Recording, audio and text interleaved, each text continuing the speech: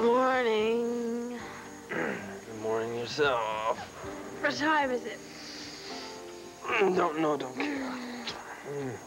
Were we at this all night? Mm-hmm. Yeah? Ever since the moment I threw you on the dressing room floor and carried you off to bed, What a beast. well, you bring out the caveman in me. Insatiable caveman. Yes. Primitive instincts. Food, shelter, and to love.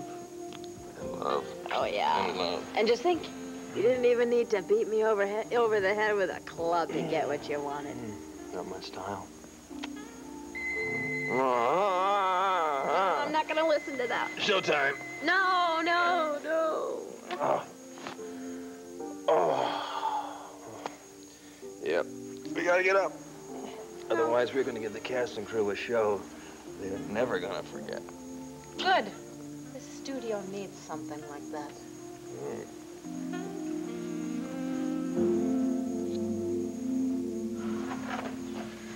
I swear, waiting for trial to begin is worse than sitting through it. I was so glad the matron let me wait with you. I knew today was going to be particularly bad for you. Yes, Tina. Tina's going to be on that stand. I wish I knew what she was going to say. Well, there's one thing I can be certain of. There's only one person she's going to protect, and that'll be herself. You see, if Herb comes down hard on her, makes her crack, she spills everything, she won't give a damn who she brings down with her. Do you think that will damage your case? No, I'm not thinking about this case.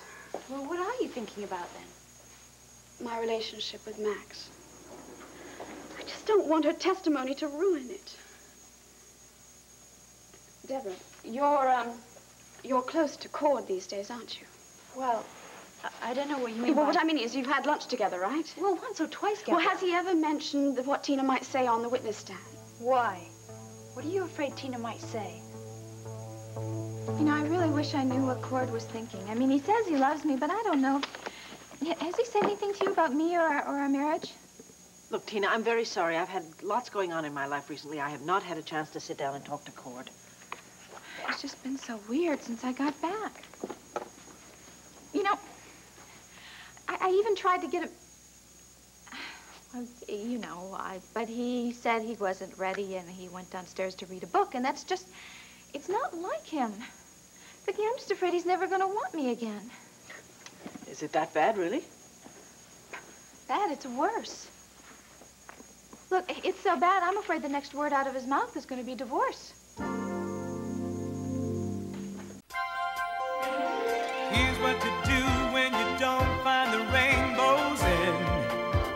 This time.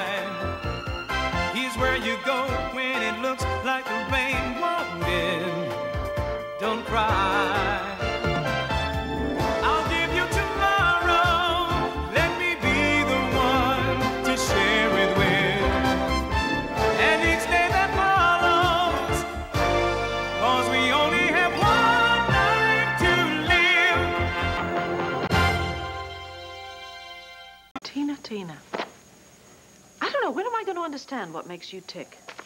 What do you mean? You knew that your marriage was in trouble the very second that Cord found out that you knew Gabrielle had switched the babies. You should have stayed here then and tried to work out your problems, but no, off you went to Andorra. Well, I thought I should give him some, some time and some space so he could forgive me.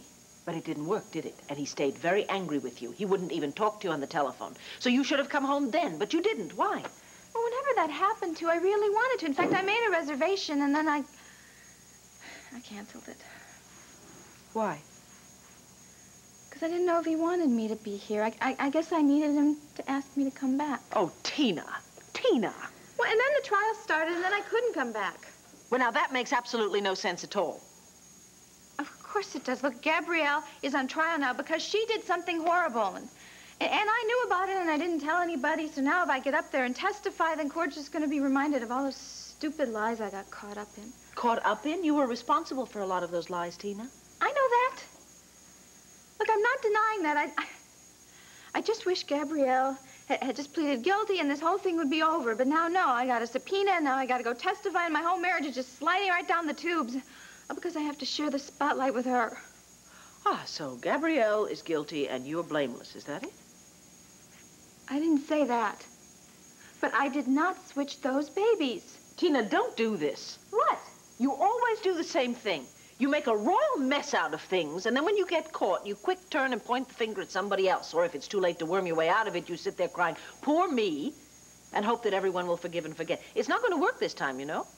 You will get advice from me, you will get support from me. You won't get one ounce of sympathy from me. All right, then give me advice. Is it too late to try to save my marriage? Because if I lose Cord again, I'm going to die. Tina, talk to him. Talk to him. Be open. Be honest with him and tell him how you feel. I feel like I've already started to lose him to Debra Medina. Why in God's name would you say that? Well, they seem to have gotten awful close these days. Then maybe I'm making more of it than there is. You probably are. What if I'm not? Is there something going on between her and my husband? That's the kind of night I used to fantasize about. It could have gone on forever. Yeah. Does that mean you're glad I didn't let you throw me out of your dressing room last night? Oh, every once in a while, your stubbornness comes in handy. I'm glad you realize that. Maybe next time when I tell you I love you, you'll realize I mean it. I will. I do love you. You are the most important woman in the world to me. And nothing, you hear me, nothing is ever going to change that. And if you ever try to get rid of me again like you did last night, I'm going to have to give you another lesson. Oh, good. Is that a threat or a promise? Yeah, you take it any way you like. All right, I will. mm. But not now. We got to get out of here. Fortunately, we got work to do. And I'm the producer. Not today, you're not. Uh, did Bo fire me without telling me? No, but I think he'd understand if you were needed somewhere else. Where? Maybe right here? Mm-mm. No? In court. With Gabrielle. Oh, Debra, the reason I am worried about Tina taking the stand is that she has a way of taking things out of context. And she blurts things out, and before you know it, everything is tied up in a big knot. I see, but I mean, what has that got to do with you and Max? There are some things that have happened in the past. Things I really don't want Max to have to go through again, and I'm afraid she'll bring them up. What sort of things? Come on, Gabrielle, you can tell me. Is it worse than what you did with Brenda's oh, baby? no, oh, God, no. No, you see, Tina's specialty is telling half-truths. And when you put that together with Herb's ability of twisting everything around, you've got a major catastrophe on your hands. So you're worried about Tina going on the stand and saying these half-truths, as you call it, and that will affect Max's love for you? Max's love for me is extremely fragile right now. I don't think he fully understands it yet. And I can't afford to lose it. You won't lose it if it comes from his heart. I don't think that he really knows where it's coming from right now. And then there's Megan. Megan doesn't make anything easy. She has already stated how she feels about me, and I'm certain she'll take any opportunity to turn Max against me. That's why I would like to know what Tina's going to say. Well, you keep going on about her as if she's out to get you. You're right. I am, I am probably overreacting. So, tell me more about Tina. Uh, well, she's the type of woman who is always getting in trouble. She doesn't think of the consequences of her actions. She just does what she needs to do to get what she wants. She sounds very selfish. Yes, she can be at times. And I've never understood why. She has everything. She has a beautiful son, loving family, a very devoted husband. I can't understand how he's put up with her this long. Cord must be a very loving and forgiving man to put up with a woman like that. Excuse me, ladies. Court's about ready to convene. Are you all set? Uh, yes, I, I suppose so. Well, this will probably be the last day of the trial. So if we can make it through Tina's testimony, we might just get lucky and win this case. I think it's going to take more than luck. Well, maybe so, but let's get it over with, huh? Good luck.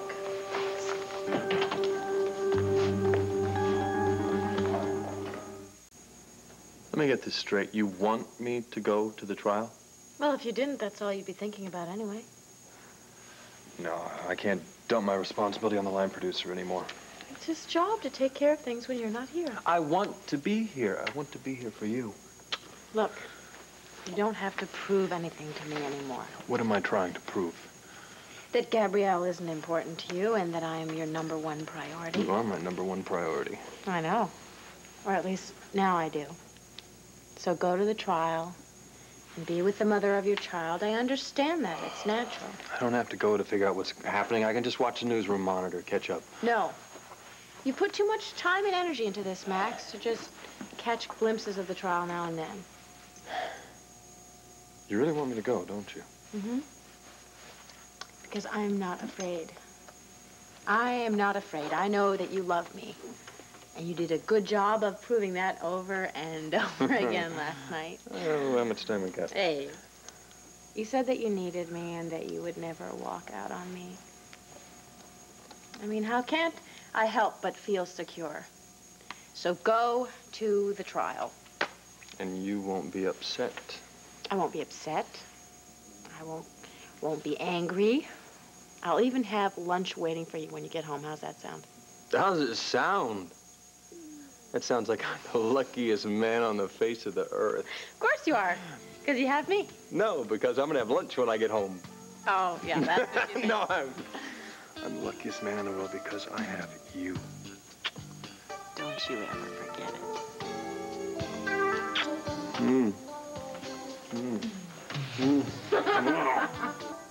Well, you know something about Cord and Debra, don't you? Or what is it? Tell me. I know nothing. Nothing. As far as I know, there's nothing going on between Cord or anyone, period. Good. Which is not to say that he's had an easy time of it while you've been away. Cord is not exactly the loner type, you know. He's very gregarious. He needs company. You know, he always says that an experience isn't really worth anything unless there's someone to share it with. Then good. You understand what I am saying. Yeah, I understand that he's been sharing some experiences with her while I've been gone. I didn't say that, Tina. But have you seen them together or something? Yes, yes. He did an in-depth interview with her for the banner. And that's it? As far as I know, yes. Are you sure? I mean, you're not trying to spare my Oh, feelings or oh, please, honey, don't give me the third degree. I have told you everything I know. I'm just so scared I'm going to lose him. It seems to me you should worry not so much about who Cord saw while you were away, but what you're going to do when you appear in court this morning. Don't remind me about that. Do you have any idea at all what you're going to say? The truth, the whole truth, and nothing but the truth. No secrets and no lies. Tina, do you really mean that? Oh, yes, so help me God. In that case, darling, something good may come of this after all. What time do you have to be there? Uh, around 10. Oh, I, I gotta get going. Yes, you have to get going. Yeah. Uh, do you think you could go there with me? Oh, Tina, honey, I... Uh, look, I'd like to, but Clint is coming home today. Well, it, it, it would be a real big help if you could.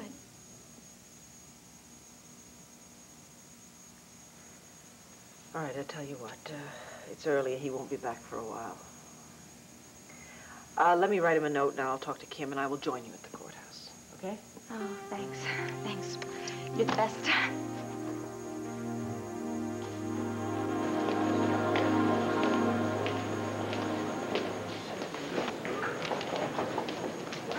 Cord. Yeah, what's up, Herb? Where's Tina? I don't know. I haven't seen her this morning. I mean, she should have been here by now. Well, then she must be on her way. Well, you don't think she'd pull a no-show on me? I don't know, Herb. The whole reason she came back from Andorra was because you subpoenaed her. Well, I know that, but I'm afraid she'll have second thoughts. Well, I don't know. I guess she's on her way. And then you can get her up on the stand, and then you can rake her all over the coals all you want to. Uh, I'm sorry, Herb. Uh, that was uncalled for. No, no, it's all right. I realize you're angry with me, upset because I forced you to come back here from Andorra. Hey, at least you got her to come back. You had more of an effect on her than CJ and I did. Cord, I'm sorry if you're having troubles with Tina. I appreciate your concern, Herb, but, uh, look, I'd rather not get into a lengthy discussion about my relationship with Tina. What I'd like to know is what happened with the judge. Uh, you mean, did I get him to grant Tina immunity? Yeah. I mean, that's the best way you're gonna get Tina to get up there and give her testimony. No, she has to testify. She has no choice. Yeah, I realize that. But I don't want her worrying about incriminating herself up there on the stand and having to go to jail for it. You know, ever since you brought this up yesterday, I've been asking myself the same question over and over again. What could Tina possibly reveal that would send her to jail?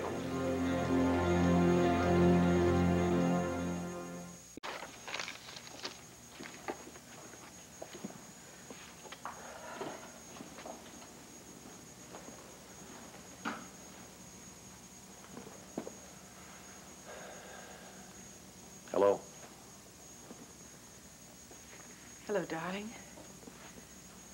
I was just leaving you a note. Oh, about what? It's not important now. How was your flight? Fine, fine. How's the kids? They're wonderful, thank you. They- They'll they'll be really happy to see you. Well, me too. And uh, how are things down at the Banner? Great. Couldn't be better. Smooth as silk. Cord's been doing a fantastic job, given the circumstances. Oh, problems? Well, Tina's home. Needless to say, they're having a bit of a rough time. Well, you didn't really expect that to go as smooth as silk, now, did you? No, no, I didn't. I, I, I don't really want to talk about that. How was old Arizona? Was it everything you hoped it would be? And then some. So you were right? It is situated in the same place as Buchanan City? Exactly. Exactly. It is Buchanan City. They're one and the same. How exciting for you. Yes, you... You know, I... It, it was like being back there a hundred years ago again. I mean, I walked the same streets that you and I walked when you were there. I saddled, saddled up and rode that whole area. In fact, I half expected to see Buck and Cody and May waiting to say howdy when I rode back into town. Are any of the old buildings still standing? Yeah, most of them. Of course, they've all had a facelift or two since since then, but from the second I stepped foot into that town, now all the old feelings came rushing back. You remember when you walked into that saloon and, uh, well, you know, the day that Jenny and I were fixing to get married? Yes. Yes, I remember all of that.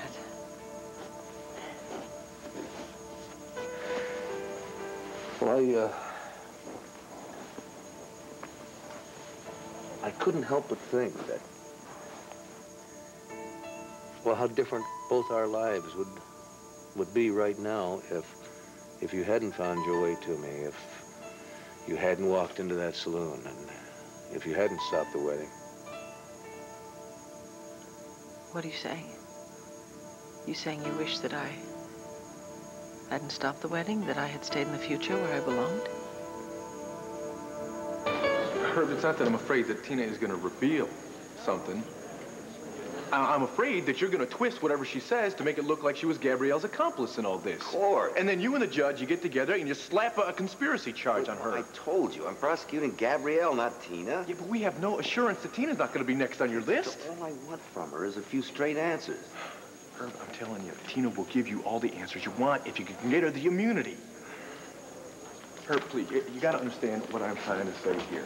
It will be much easier all the way around if she gets the immunity. That way you can talk to her and you won't have to rake her over Yes, the well, coals. I'm, I'm sure it would make my job a lot easier, but it's a moot point. I asked the judge to grant her immunity, and he said no. Oh, damn it. I tried, Cord. I really did, but he says she hasn't given him any information that warrants immunity. Oh, this is beautiful. I mean, this guy's going to play it by the book and make it a hell of a lot more difficult for everybody concerned. This is perfect. What does that mean?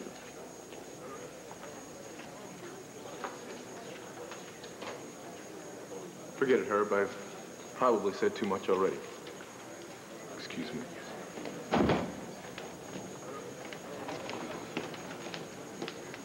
Hi, Tina. Hi. How you holding up? As well as can be expected. Listen, I have talked to Herb, and he's already consulted with Judge Carlin. And? No go, Tina. He's not going to give you the immunity. Well, thanks for trying anyway. That's it? Thanks for trying. I thought you'd be more upset than this. Well, it isn't going to change the judge's mind, is it? No, I guess it's not. What can I do? And, uh, besides, the main thing is that you really went, well, you really went out of your way for me. That means more to me than anything. Listen, Tina, when you, when you get up there on the stand, all right, just relax. Yeah, It's not like it was a crime, you keeping Gabrielle's secret about the baby switching. I know, I know. I just, I just want to get it over with. But having you here, it really does help. Now listen to me. When you're up there, you gotta tell the truth about everything. You understand me? And don't let Herb rattle you.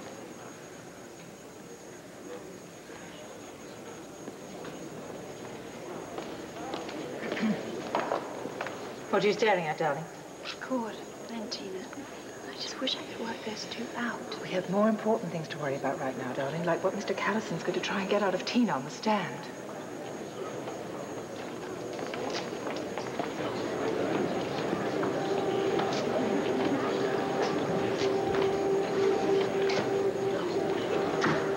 Court is now in session. All rise for the Honorable Philip Carlin presiding.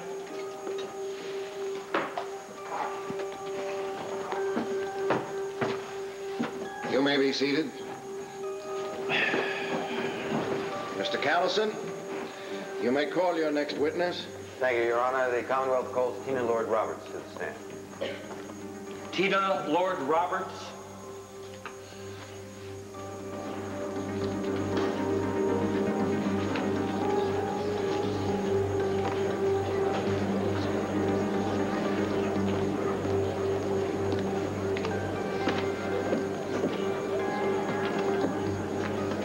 Swear to tell the truth, the whole truth, and nothing but the truth, so help you God? I do.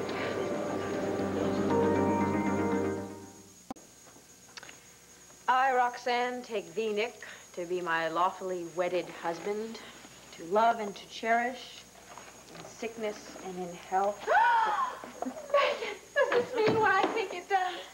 No, it doesn't. My character on the show is getting married. Well, no, oh. actually, she doesn't end up getting married because her sister barges in the ceremony at the last minute, reveals some very shocking information. One of those typical soap opera weddings, whatever. I was just memorizing my lines. Well, I think you should probably tuck those lines in the back of your mind somewhere. You might be needing them soon, right? Unless you and Max haven't worked out your problems. No, actually, we spent most of last night working them out. Oh, really? Yeah. What is this? Did Bo give this to you? No, actually, Asa did. That's why I came over. I wanted to show you my Medal of Honor. Your Medal of Honor, what does that mean? Well, Asa played a little prank on me. He was putting me through this kind of trial and fire thing. See if I was worthy of being a member of the Buchanan clan. Happy to say I passed with flying colors. Well, this is definitely very nice. Is it an antique? Yeah, it's beautiful, isn't it? It was Asa's grandmother's, Blaze Buchanan's.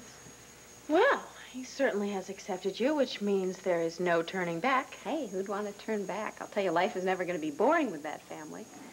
I wouldn't trade him in for anything. Don't have to convince me. I've always been very happy to be a part of that wild bunch. And so will you be. Very soon, once you tie the knot.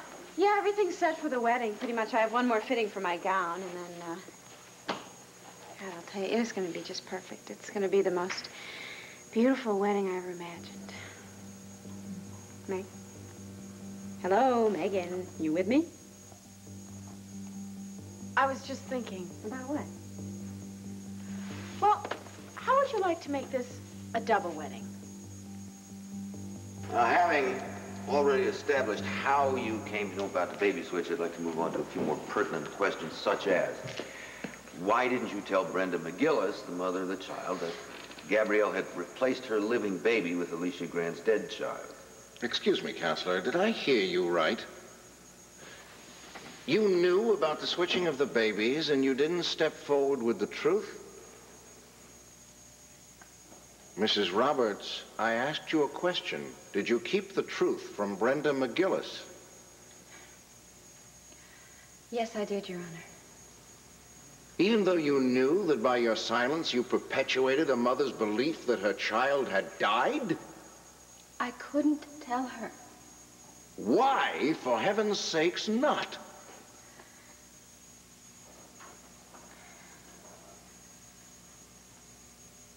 I really wanted to, but I couldn't. Gabrielle stopped me from telling her. Could you speak up a little bit, please? I can't hear you. I said Gabrielle stopped me from telling her. How did she stop you? I, I can't say. Your Honor, if I may be allowed to... No, Counselor, I won't let you continue from this point. I'm shocked by this revelation. I intend to keep questioning the witness until I'm satisfied with her answers. Your Honor. Uh, you're not going to object, are you, Mr. Callison? Well, no, of course not. It's your prerogative to question the witness, but... Now, Mrs. Roberts, I want you to answer my, answer my question, please. How did the defendant stop you from telling Brenda McGillis that her baby was alive? She blackmailed me. Speak up, please. She blackmailed me. What could she possibly have over you that would lead you to keep such a horrible secret?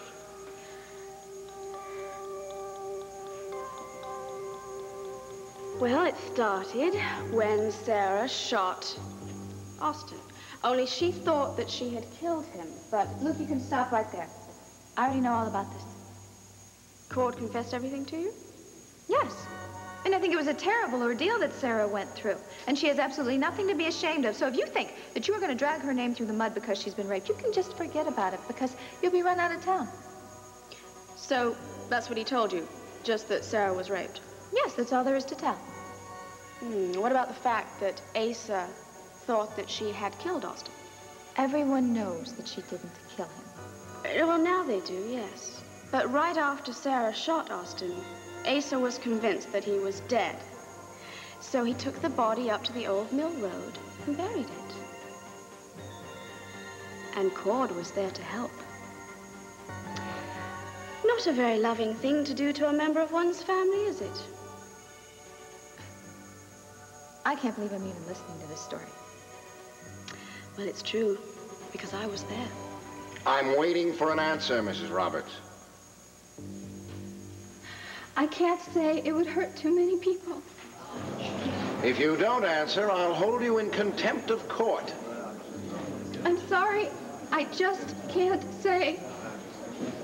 Damn it, Tina, come on, it's not worth it, girl. Will you tell the man? Viki, how can you say that?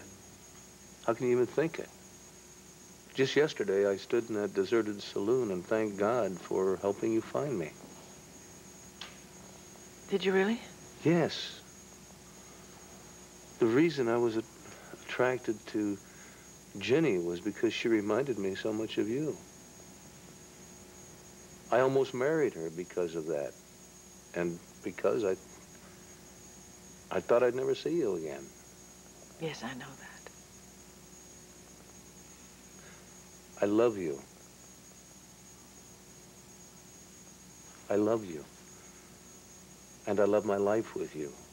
And our life with with our family. My God, if I didn't love you as completely as I do, I I wouldn't be fighting so hard to save our marriage. I was so hoping you would say that.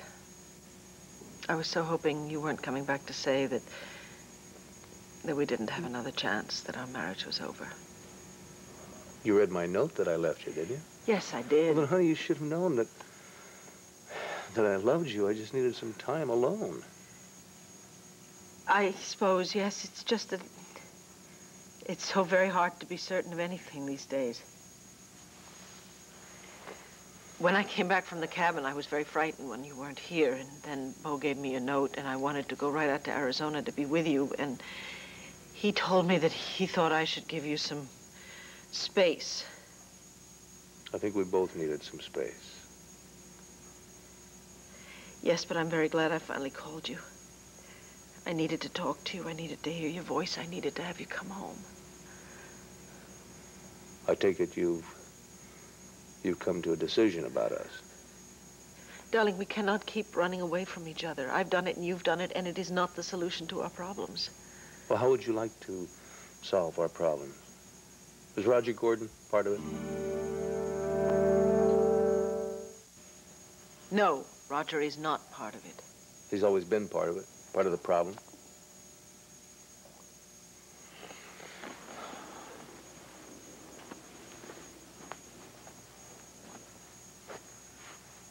When you called me out there and asked about my my coming home, I figured it was because you didn't want to lower the boom on me over the telephone. Oh, no, no, darling, no. I wanted you to come back so that we could work out our problems together. Roger has nothing to do with this. Really, Viki? Really? Roger and I have only two things in common now. Megan and the centennial celebration. That's it. Does Roger know that? Yes, he does. While you were away, I had a long talk with him, and I was very frank with him, and he knows how, I feel, how I feel. How do you feel? You are the only man in my life. You always have been. And you always will be. Scout's honor. Cross my heart, and I hope to die. And how about a welcome home hug? Oh, darling, welcome home. It's good to be home. God, I missed you so much. I missed you more, Why? because I'm bigger than you are. Oh, Clint, prom promise me, please, that we'll never do this again. Promise me that we won't go our separate ways anymore. That, that if we, if we have problems, we, we'll stick with it. We'll find a solution. You know, I think I already have. What? Found a solution, a solution to our problem. In fact, a solution to all our problems, past, present, and future. Honey, we just, we just have to start over. Just go back to a simpler way of life. Oh, sure. How? By going back to our roots. Goodbye, Llanview. Hello, Buchanan City. You want us to move to Arizona? Yes. The whole family. Lock, stock, and barrel. Mr. Roberts, sit down or I'll have you ejected from this courtroom. I'm sorry, Your Honor. I don't want apologies, I want silence. Now sit down. I'm going to give you one more chance to answer the question, Mrs. Roberts. But I'm not the one who's on trial here. You'll answer the question or I'll hold you in contempt. I'm sorry, Your Honor, but I can't say. Please don't make me do this right now, please. We'll come back to this later, but I want you to think long and hard about that contempt charge, Mrs. Roberts. You can uh, question the witness, Mr. Callis. Well, thank you, Your Honor. You know, I, I really feel that you've demonstrated better than I could that Gabrielle Medina is capable of anything, including blackmail, to get what she wants. And uh, that she was perfectly aware of what she was doing. She was perfectly sane when she switched those babies. Mr. Callis. Well, I have no further questions. Your witness, Mr. Russell. Remember what I talked to you about? Hey, it's at the top of my game plan. Hopefully it'll turn things around for us. Well, Mrs. Roberts, how long have you known the defendant? Two or three years. Would you consider her to be a friend of yours? At times, yes. And the other times? We've had some disagreements. Well, I'd like to take you back two or three years. Back to the jungles of Argentina. Back to that hut where Gabrielle gave birth to Max's child. You were there, weren't you? Yes. What happened that day? I delivered her baby. And after that? Did she want to keep the baby? No. No, she didn't. She said it would bring too much shame on her family. Ah. But you, uh, you offered her a solution, a way out of her dilemma. I offered to bring her baby back with me. I know the perfect American couple who could take your baby. Are you saying what I think you're saying? Well, I did help give birth to him, and I... Gabrielle, I love him already. I love him so much. I'm sure that's why I'm, I'm so upset at the thought of you just giving him away. Well, this would be the perfect solution. I mean, maybe it was intended. Yeah, intended. I, fate. Somehow, somewhere, Max was meant to have a child with you. Perhaps not yours and his, but his and mine. The real natural father and the stepmother, the woman that he loves so much. Tina, you, you and your husband, you and your husband raised my child. But you lied to her, didn't you? No. But I didn't tell her the whole truth. No. Well, what was the truth? Were you married to Max Holden? No. No.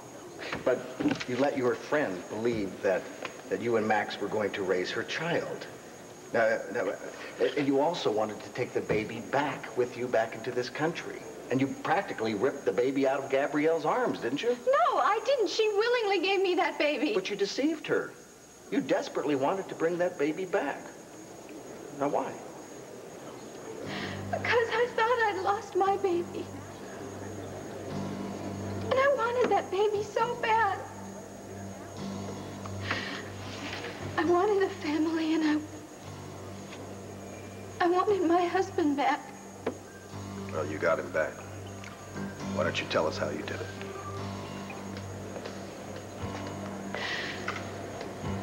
I pretended that that baby was ours. Cord's and mine.